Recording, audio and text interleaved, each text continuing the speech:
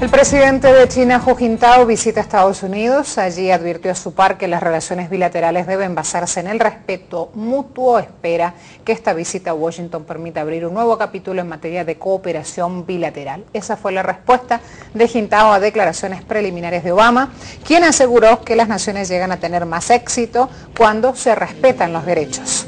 La reunión estaba centrada en la concreción de acuerdos económicos y de seguridad, como la apreciación de la moneda china, el yuan, la tensión en la península coreana y las relaciones militares de Estados Unidos con el sur